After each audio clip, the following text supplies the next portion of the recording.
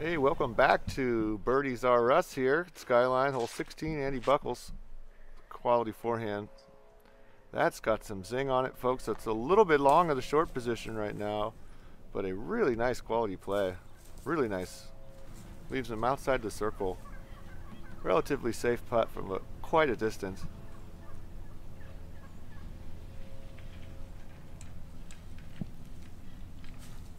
Smooth stroke. He gets it and holds the pose, folks. That is a man who means business. Oh, and he is not in a rush. Look at this walk up to the champion circle.